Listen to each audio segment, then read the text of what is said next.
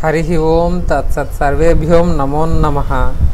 ఈరోజు మనం తెలుసుకోబోయే ఈ చరిత్ర ఈ కథ విన్న వాళ్ళకి ఒకరోజు రాత్రంతా నిద్ర పట్టదు. ఈరోజు మనం ఇన్ని అబద్ధాల్లో మన యొక్క చరిత్రనంతా కూడా ఇన్ని రోజులు గుడ్డిగా ఇలా నిజాలు తెలుసుకోకుండా నమ్మామా అని ఆశ్చర్యపోకమానరు మీరు. కేంబ్రిడ్జ్ యూనివర్సిటీకి చెందినటువంటి కొంతమంది మేధావులు పాఠాల యొక్క దేశభక్తి మీద పరిశోధన చేసి మేము నేషన్ బిల్డర్స్ అంటే మేము వ్యాపారస్తులం కాదు మేము దేశభక్తులము దేశాన్ని నిర్మించే అసలైన దేశభక్తులు మేమే అని చెప్పుకుంటున్న ఈ పార్సీల గురించి పరిశోధన చేసి వాళ్ళు చెప్పే విషయాల్లో నిజ నిజాలు ఏమిటో పరిశీలించి వాళ్ళ యొక్క అసలు స్వరూపాన్ని మనకి వాళ్ళు పరిచయం చేశారు. ఇందుకు మనం ఈ కేంబ్రిడ్జ్ యూనివర్సిటీలోని ఈ రైను అనే ప్రొఫెసర్కి మనం ఎప్పటికీ రుణపడి ఉండాలి. వాళ్ళు కనుక పరిశోధన చేసి ఈ నిజాలు చెప్పకపోతే ఇప్పటికీ మనమంతా కూడా వీళ్ళు ఈ పార్సీలు నిజమైన దేశభక్తులు అనే భ్రమలోనే ఉండేవాళ్ళమేమో. అసలు వాళ్ళు ఏం పరిశోధన చేశారు? ఏం నిజాలు చెప్పారు? టాటాల గురించి దూంగాజీ అనే ఒక పార్సీ వ్యక్తి టాటా గ్రూప్కి సంబంధించే ప్రముఖమైన వ్యాపారవేత్త పార్సీ వ్యక్తి ఏం చెప్పాడంటే మనం ఉదయం లేగానే టైటాన్ వాచ్లో టైం చూసుకుంటామంట టాటా టీ తాగుతాము ఇంకా టాటా ఉప్పేసిన కూర తింటాము తర్వాత టాటా ఇండికామ్తో ఫోన్ చేస్తాము మళ్ళీ వెళ్ళి టాటా ఆఫీసుల్లో పనిచేస్తాము మళ్ళీ తాజ్ హోటల్లో లంచ్ చేస్తాము తర్వాత బరిస్తా మరియు కుప్ప బరిస్తా వంటి టాటా వాటిల్లోనే మళ్ళీ మన టీలు కాఫీలు తాగి సాయంత్రం వచ్చి టాటాలు తయారు చేసిన బెడ్ మీద నిద్రపోతామని అతను చెప్తాడు. ఇది వాళ్ళు చాలా గొప్పగా టాటాలు చూడండి మా వ్యాపారాలు చూడండి ఎంత పెద్దవో అన్నట్టు గొప్పగా చెప్తున్నారు. కానీ తమాషా ఏమిటంటే మనందరం టాటా ఉప్పు తిని టాటా స్టీల్ ప్రోడక్ట్లు వాడి చివరికి ఈస్ట్ ఇండియా కంపెనీకి ఎలా బానిసలుగా మనం మారిపోయి మన యొక్క స్వాతంత్రాన్ని పోగొట్టుకున్నామో టాటాలకి ఈ పార్సీలకి బానిసలుగా మారిపోయి మన యొక్క స్వాతంత్రాన్ని మనం పోగొట్టుకున్నాము. టాటాల ఉప్పు తిని టాటాల యొక్క మన టాటాల యొక్క సీజ్ వీఆర్ అండర్ సీజ్ అంటుంది అరుంధతి రాయ్ అనే ఇంకొక యాక్టివిస్టు. అసలు ఈ టాటాలు ఇంత పెద్ద లేదా పార్సీలు ఇంత పెద్ద వ్యాపార సామ్రాజ్యాన్ని భారతదేశంలో ఎలా స్థాపించారు? భారతీయులకి అసలు వ్యాపారం చేయడమే రాదా? ఒకవేళ వచ్చినా మర్చిపోయారా?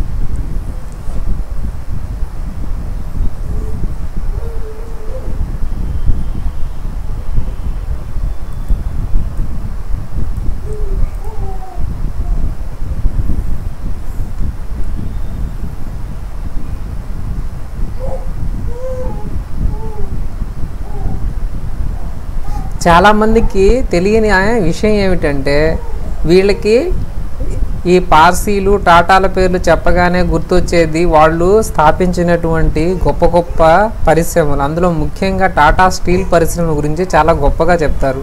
భారతదేశానికి భారతీయులకు స్టీల్ తయారు చేయడం మేమే నేర్పించాము అన్నంత బిల్డప్గా చెప్తారు. తమాషా ఏమిటంటే భారతదేశంలో రెండు వేల సంవత్సరాల క్రితమే ఉక్కు అనే అల్లాయిని తయారు చేశారు. అల్లాయి అనేది చాలా అడ్వాన్స్డ్ గత వందేళ్ళ నుంచే అల్లాయిలు అనేది కనిపెట్టారు. ఈ అప్పట్లో నిర్మించిన విష్ణు స్తంభము లేదా కుతుబ్మిరాన్ అనే తప్పుడు పేరుతో పిలుస్తున్న ఆ విష్ణు స్తంభం తుప్పు పట్టకుండా ఇప్పటికీ నిలిచి ఉండడాన్ని బట్టి భారతీయులు ప్రపంచంలో పేరుగాంచిన ఉక్కు అనే అల్లాయిని ఎప్పుడో తయారు చేశారు తుప్పు పట్టని ఉక్కుని అని మనం అర్థం చేసుకోవాలి. అటువంటి భారతీయులకు మేము స్టీల్ తయారు చేయడం నేర్పించడము అని చెప్పడం చాలా హాస్యాస్పదమే అవుతుంది. భారతీయులు ఎప్పటి నుంచో వ్యాపార రంగంలో ఎప్పుడూ ముందంజలోనే ఉన్నారు. ప్రపంచంలోని అన్ని దేశాలతో వ్యాపార సంబంధాలు నెరిపి ముఖ్యంగా రోమన్ సామ్రాజ్యంలోనే ఇదే కాకుండా వీళ్ళు ఇంత పెద్ద వ్యాపార సామ్రాజ్యాన్ని భారతదేశంలో ఎలా స్థాపించారు అనేది నాకు ఒకటి ఆశ్చర్యం అనిపిస్తుంది. వీళ్ళ చరిత్ర చదివితే వెయ్యి సంవత్సరాల క్రితం గుజరాత్ రాజ్యానికి వాళ్ళు పర్షియా నుంచి వలస వచ్చారు. ఎందుకు? అక్కడ ఉండే ముస్లిం రాజులు వీళ్ళని మామూలుగా హింసించి చంపేవాళ్ళు కాదు. మతం మారమని మతం మారని వాళ్ళని అడ్రస్ లేకుండా చంపేసేవాళ్ళు. బ్రతుకు జీవుడా అక్కడి అని అక్కడి నుంచి పొట్ట చేత పట్టుకొని పారిపోయి వాళ్ళు గుజరాత్ తీరానికి వచ్చి గుజరాత్ రాజుని మాకు ఇక్కడ ఉండడానికి ఆశ్రయం కల్పించమని అడిగారు. అలా అడిగినప్పుడు ఆయన ఎంతో దయతో వాళ్ళకి ఆశ్రయం కల్పించాడు. ఆశ్రయం కల్పిస్తూ మీరు మీ మతం ఏమిటో మాకు తెలీదు. మీరు మీ మత పిచ్చిని మా మీద రుద్దొద్దు. మీ బతికేదో మీరు బతకండి. మీరు మా సమాజంతో ఎటువంటి సంబంధాలు పెట్టుకోవద్దు. ఇక్కడ పెద్ద వ్యాపారాలు చేయొద్దు. మీరేదో చిన్న పనులు చేసుకుంటూ బతకండి అని ఆయన చెప్పాడు. అలాగే ఆ రాజు ఆ రాజ్యం ఉన్నంత వరకు వీళ్ళందరూ పొలాల్లో పనులు చేసుకుంటూ చిన్న చిన్న మెట్ట పొలాలు దున్నుకుంటూ ఏదో చిన్న చిన్న పనులు చేసుకుంటూ తమ జీవితాన్ని గడిపేశారు. తరువాత ఎప్పుడైతే బ్రిటిష్ వాళ్ళు ఇక్కడ అడుగు పెట్టారో అప్పుడు ఈ పార్సీల యొక్క దశ తిరిగింది. ఎలా తిరిగింది? ఏమిటి? అనేది మీరు తెలుసుకోవాలి అంటే మీరు మొత్తం ఈ వీడియో అంతా వినాల్సిందే. ఈ పార్సీలు ఒక్క రూపాయి లేకుండా కట్టుబట్టలతో భారతదేశానికి వెయ్యేళ్ళ క్రితం వచ్చారు. ఇప్పుడు సీన్ కట్ చేస్తే వంద సంవత్సరాల క్రితం టాటా స్టీల్ అనేటువంటి ఒక అతిపెద్ద కంపెనీని నిర్మించగలిగేంత ధనాన్ని సంపాదించారు. ఎప్పటి నుంచో వేల సంవత్సరాల నుంచి ఈ దేశంలో ఉంటూ ఇక్కడ వ్యాపారాలు చేసినటువంటి మహామహులు కూడా ఆ వంద సంవత్సరాల క్రితం ఈ స్టీల్ టాటా స్టీల్ లాంటి కంపెనీని నిర్మించే పొజిషన్లో లేరు. మరి ఎందుకని? ఇక్కడ ఉండేవాళ్ళు వ్యాపారంలో ఫెయిల్ అయిపోతే ఎక్కడి నుంచో వచ్చిన వాళ్ళు ఇంత డబ్బు కూడగట్టి ఇంత పెద్ద సంస్థలను నిర్మించే స్థాయికి ఎలా చేరారు? దీనికి రెండే రెండు కారణాలు ఉండాలి. ఒకటి మనకి వ్యాపారం చేయడం రాకుండా అసలు మనం ఉత్త చవట దద్దమ్మలైనా అయి ఉండాలి. లేదంటే వీళ్ళు వాళ్ళ దేశంలో నుంచి చాలా సొమ్మైనా ఎత్తుకొచ్చి ఉండాలి వాళ్ళు సొమ్ము ఎత్తు వాళ్ళు సొమ్ము ఎత్తుకోరాలేదు. మనమేం చవట దద్దమ్మలం కాదు. ఎప్పటి నుంచో ప్రపంచాన్నే శాసించిన వ్యాపారం మంది. అప్పుడు రోమన్ రాజులు కూడా భారతదేశం నుంచి వచ్చే పట్టు చీరల్ని మనం కొనకూడదు కొని మన డబ్బంతా పోగొట్టుకుంటున్నామని వాళ్ళ యొక్క రికార్డ్స్లో రెండు వేల సంవత్సరాల క్రితం రాసుకున్నారు కాబట్టి మనమే వ్యాపారం చేయడం రానివే దద్దమ్మలం అయితే కాదు. రెండూ కాదు. ఇక మూడో ఆప్షన్ ఏమిటి అంటే వీళ్ళు బ్రిటిష్ వాళ్ళ కింద తొత్తులుగా పనిచేసి బ్రిటిష్ వాళ్ళ సహాయ సహకారాలతో బ్రిటిష్ వాళ్ళు అందించిన ఐడియాలతో వీళ్ళు భారతదేశంలో తమ వ్యాపార సామ్రాజ్యాన్ని నెలకొల్పారు. వీళ్ళు నెలకొల్పినటువంటి వ్యాపార సామ్రాజ్యం దేని మీద నెలకొల్పారు? అంటే చూడండి ఇప్పుడు ఫోటో చూపిస్తాను. చైనా దేశంలోని సామాన్య చైనా ప్రజల యొక్క ఆరోగ్యంతో ఆడుకొని చైనా దేశంలోని ప్రజల జీవితాలను సర్వనాశనం చేసి వాళ్ళని పిండి పిప్పి చేసి వాళ్ళ యొక్క జీవితాలను వీళ్ళు కుటుంబాలను నాశనం చేసి వాళ్ళ దగ్గర నుంచి సంపాదించిన ధనంతో వీళ్ళు భారతదేశంలో అతిపెద్ద వ్యాపార సామ్రాజ్యాన్ని స్థాపించారు. ఇది పచ్చి నిజము. ఈ నిజాన్ని బయటికి తీశారు ఎంతోమంది పరిశోధకులు. ఇప్పటికీ వీళ్ళకి సంబంధించిన అఫీషియల్ రికార్డ్స్లో ఈ నిజాలన్నింటినీ తొక్కిపెట్టి వీళ్ళు వాళ్ళ పైన వైట్ వాష్ చేసి మేము ఎంతో ఉన్నతమైన విలువలు కలిగిన ఎంతో గొప్ప నీతి నిజాయితీ కలిగిన వ్యక్తులము నీతి నిజాయి మా సంస్థలన్నీ కూడా నీతి నిజాయితీకి మారుపేరు అని చెప్తూ ఉన్నారు. కానీ అది పూర్తిగా అబద్ధము. వీళ్ళు తమ యొక్క వ్యాపార సామ్రాజ్యాన్ని ఎలా ప్రారంభించారు అనుకుంటున్నారు? వీళ్ళు ఒక స్టీల్ ఫ్యాక్టరీ కట్టగలిగేంత ధనాన్ని ఎలా సంపాదించారు అనుకుంటున్నారు? ఈ ధనం అంతా వీళ్ళేదో చెమట తీసేసి లేదా ఇంకేదో కొత్త కొత్త ప్రోడక్ట్లు కనిపెట్టి లేదా వాళ్ళకి ఇంకేదో లంకి బిన్నులు దొరికి ఆ ధనాన్ని సంపాదించలేదు. ఆ రోజుల్లో మీరు చైనా యొక్క పరిస్థితిని అర్థం చేసుకోవాలి. వీళ్ళు వీళ్ళు యొక్క ధనాన్ని నల్లమందు లేదా ఓపిఎం అనే ప్రోడక్ట్ నుంచి సంపాదించారు.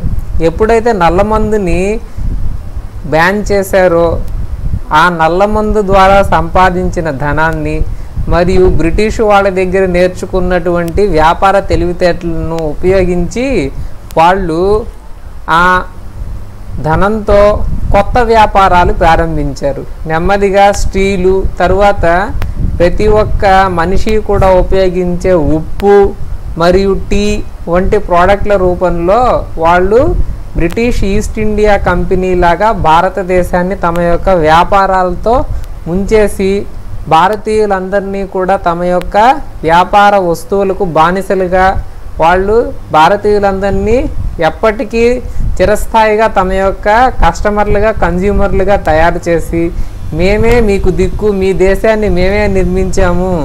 మీకు అసలు నడవడం కూడా రాదు. మీకు అసలు చిన్న ఇల్లు కట్టుకోవడం రాదు. చిన్న స్పూను చెంచా కూడా తయారు చేసే టెక్నాలజీ మీకు లేదు అని మనకే నీతులు చెప్పారు వీళ్ళు.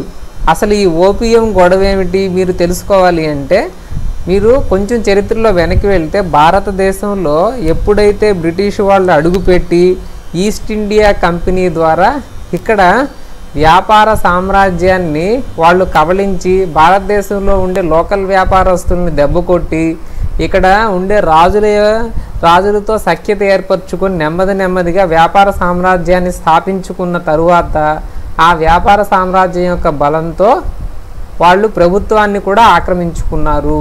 ఇది కాదనలేని నిజం. వీళ్ళ యొక్క సామ్రాజ్యవాదానికి మిలిటరీ అనేది కేవలం ఒక సపోర్టింగ్ మాత్రమే. వీళ్ళ యొక్క సామ్రాజ్యవాదానికి ప్రపంచాన్ని ఆక్రమించడానికి వీళ్ళకి సహకరించింది వీళ్ళ యొక్క కంపెనీలు వీళ్ళ యొక్క వాణిజ్యము.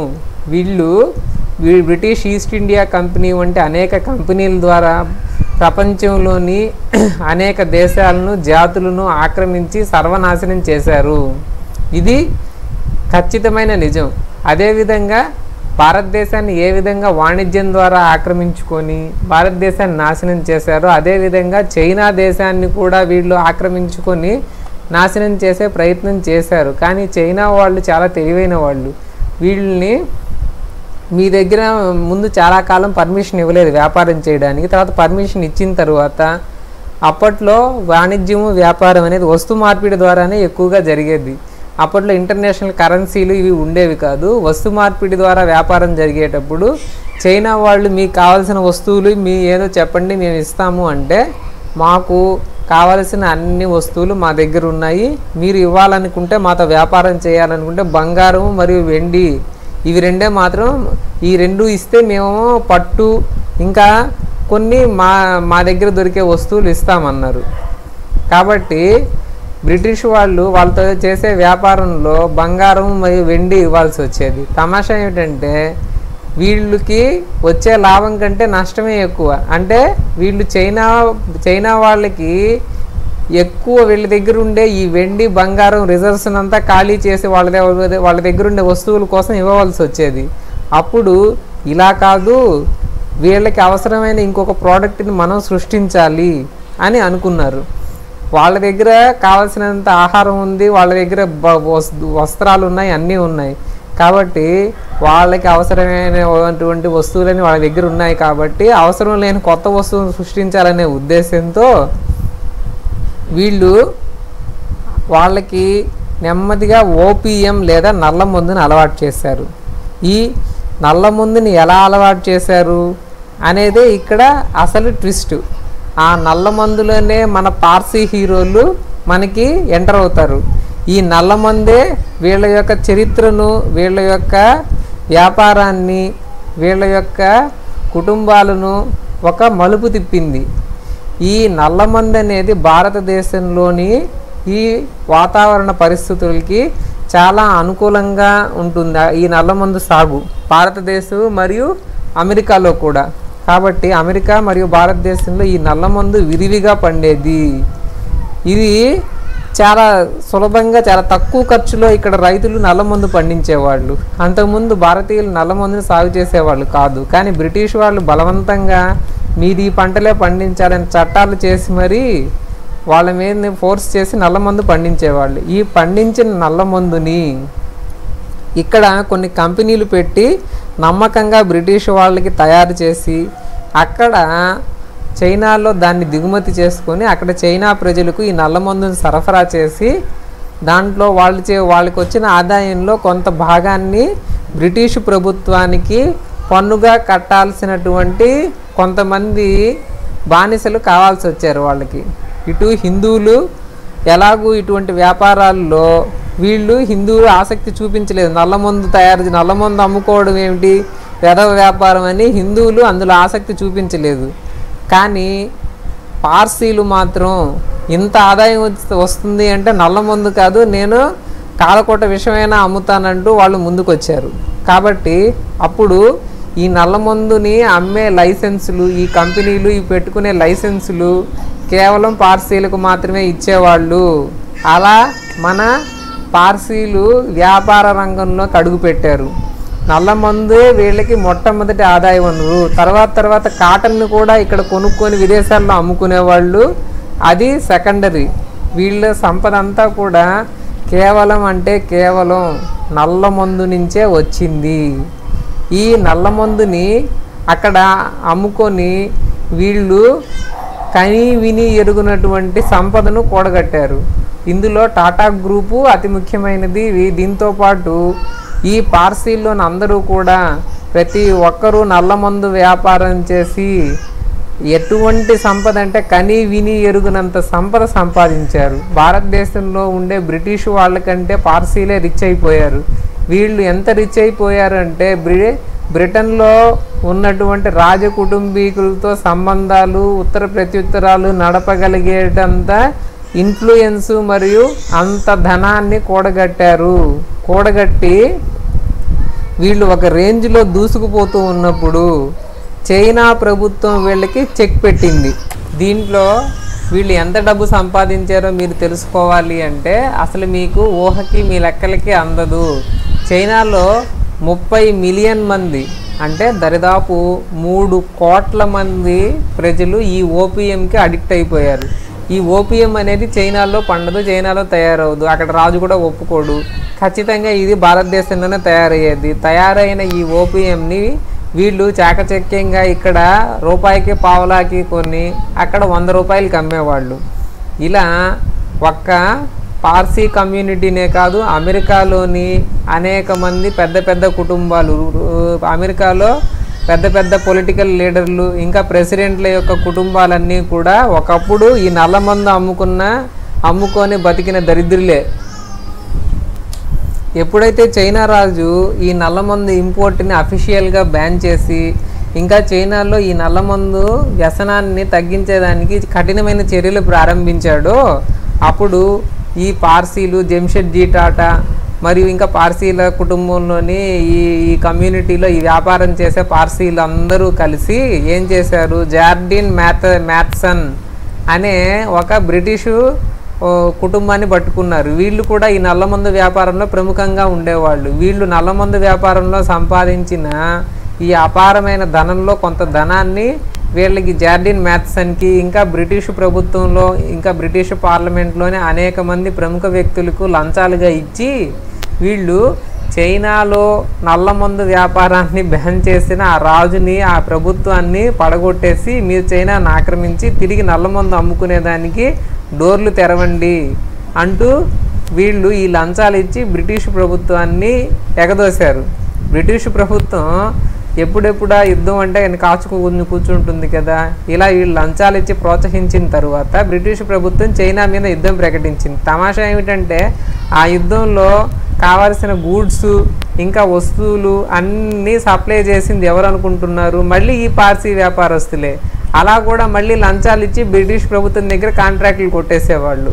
అలా వీళ్ళు ఒకానొక సైనిక అధికారి ఈ వీళ్ళు పార్సీలు వేసిన బిల్లులన్నీ చూసి ఆశ్చర్యపోయాడంట. అన్ని దొంగ బిల్లులే. ఇంకా ఒక రూపాయి వస్తువు పది రూపాయలు అమ్మేవాళ్ళంట బ్రిటిష్ వాళ్ళకి. అలా బ్రిటిష్ వాళ్ళని కూడా దోచుకొని తినేవాళ్ళంట వీళ్ళు. వాళ్ళకి వీళ్ళకి లంచాలు ఇచ్చి వాళ్ళ బ్రిటిష్ మిలిటరీకి సంబంధించిన కాంట్రాక్ట్లన్నీ వీళ్ళు కొట్టేసి ఇలా బ్రిటిష్ వాళ్ళతో కూడా వ్యాపారం చేసి బాగా వీళ్ళు డబ్బు సంపాదించారు. అసలు అంతకుముందు బ్రిటిష్ వాళ్ళతో వీళ్ళకి సాన్నిహిత్యం ఎలా వచ్చిందనుకుంటున్నారు? ఎలా అంటే వీళ్ళు అప్పట్లో బ్రిటిషు వాళ్ళు భారతీయ రాజులతో అందరితో కూడా సంప్రదింపులు జరిపి మాట్లాడి వాళ్ళతో కొన్ని డీల్స్ కుదుర్చుకునేవాళ్ళు. బ్రిటిష్ వాళ్ళకి ఇక్కడ లోకల్ భాషలు రావు కదా. అందుకని వీళ్ళు లోకల్ భాషలన్నీ నేర్చుకునేసి తర్వాత పర్ఫెక్ట్గా ఇంగ్లీష్ కూడా నేర్చుకొని ఇలా ట్రాన్స్లేటర్లుగా బ్రిటిష్ బ్రిటిష్ వాళ్ళకి పనిచేస్తూ ట్రాన్స్లేటర్లుగా ఉండేవాళ్ళు ప్రముఖమైన వ్యక్తుల దగ్గర పరిచయాలు ఉంటాయి కదా. అలా బ్రిటిష్ వాళ్ళ దగ్గర పరిచయాలు పెంచుకొని వాళ్ళ సాన్నిహిత్యంతో వాళ్ళ యొక్క తెలివితేటలను కూడా వీళ్ళు తెచ్చుకున్నారు. అదే వీళ్ళ గొప్పతనం.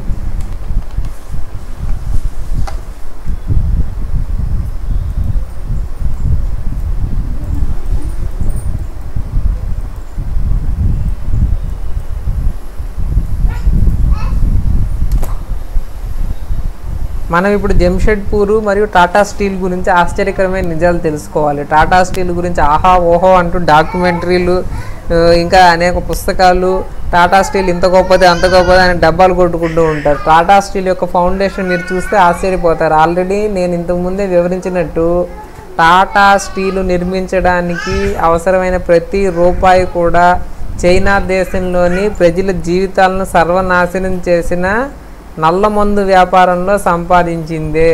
తరువాత ఈ టాటా స్టీల్ నిర్మించడానికి వాళ్ళు చాలా పెద్ద ఏరియాని ఉచితంగా కొట్టేశారు. అప్పట్లో బ్రిటిష్ ప్రభుత్వంతో వాళ్ళకు ఉన్నటువంటి సాన్నిహిత్యంతో అక్కడ ఉన్న స్థలం ల్యాండ్ అంతా కూడా ఉచితంగా తీసుకున్నారు. అక్కడ వేల సంవత్సరాల నుంచి ఉన్నటు ఉన్నటువంటి ఆదివాసీలను బలవంతంగా గెంటి వాళ్ళ యొక్క జన్మస్థలం నుంచి వాళ్ళు పుట్టి పెరిగిన ఊర్లో నుంచి వాళ్ళని బలవంతంగా బ్రిటిషు ప్రభుత్వంతో పాటు వీళ్ళు కుమ్మక్కయ్యి అక్కడ ఉన్న పోలీసులకు లంచాలు ఇచ్చి వాళ్ళని వెళ్ళగొట్టారు. వాళ్ళు మేము మా సొంత ప్లేస్లోంచి వెళ్ళము అని గొడవ చేస్తే వాళ్ళని బలవంతంగా పోలీసుల చేత కాల్చి చంపించారు. అలా వీళ్ళు చేసిన దారుణాలు దురాగతాలు ఒకటి రెండు కాదు. ఇటువంటి దారుణాలన్నీ కప్పిపుచ్చేశారు. ఇప్పుడు రికార్డ్స్లో అంతా మేము శ్రీరామచంద్రులవి మేము తెల్లని పాల వంటి వాళ్ళం అంటూ వీళ్ళు బిల్డప్లు ఇచ్చే బిల్డప్లన్నీ పై పై మాటలే. వీళ్ళ యొక్క ఆర్కైవ్లో రికార్డుల్లో వాళ్ళు చేసినటువంటి దారుణాలన్నీ ఇప్పటికీ ఉన్నాయి. ఈ కంపెనీల్లో చిన్న ఆదివాసీలకి మేము ఉపాధి కల్పిస్తామంటూ ఏదో చిన్న చిన్న ఉద్యోగాలు ఇచ్చి ఈ కంపెనీలో ఈ కంపెనీలో వాళ్ళు ఆదివాసీల మీద ఆదివాసీల మీద ఆధిపత్యం చెలాయించి వాళ్ళని వేధించుకొని తిన్న సంఘటనలు కూడా అనేకం రికార్డ్స్లో ఇప్పటికీ ఉన్నాయి. ఈ విషయాలన్నీ కూడా మనకి జంషెడ్పూర్కి సంబంధించిన ఈ దాచిపెట్టబడిన నిజాలన్నీ ఈ కేంబ్రిడ్జ్ యూనివర్సిటీ వాళ్ళు తొవ్వి తీసి ఈ Tata the global corporation that build India's capitalism అనే బుక్లో పొందుపరిచారు. ఇంకా మనం తెలుసుకోవాల్సింది ఇంకో ముఖ్యమైన విషయం ఎప్పుడు కూడా మేము దేశాన్ని నిర్మించాము దేశాన్ని నిర్మించాము అని వీళ్ళు డబ్బాలు కొట్టుకుంటున్నారు కదా. ఎందుకు నిర్మించారు ఏమిటి?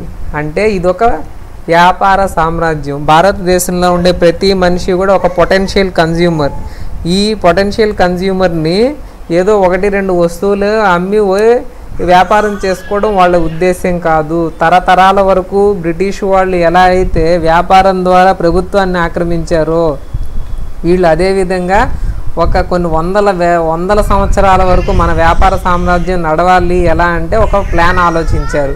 అదేమిటంటే మన దేశభక్తులుగా మనం క్రెడిట్ కొట్టేసి ప్రభుత్వం దగ్గర మంచి పేరు తెచ్చుకుంటే ప్రభుత్వం యొక్క కాంట్రాక్ట్లన్నీ మనకే వస్తాయి అనేది వీళ్ళ యొక్క ఉద్దేశం. వీళ్ళు ప్రభుత్వంతో చాలా సన్నిహితంగా ఉంటారు.